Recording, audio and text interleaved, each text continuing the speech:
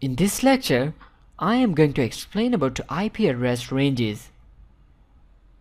Small sites may have single IP address associated with them, but larger websites usually have multiple IP addresses serving different domains and subdomains. You can obtain a range of IP addresses assigned to a particular company using ARIN means American Registry for Internet Numbers.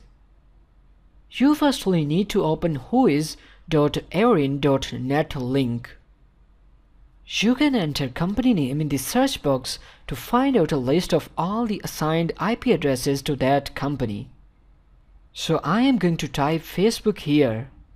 You can see here the result.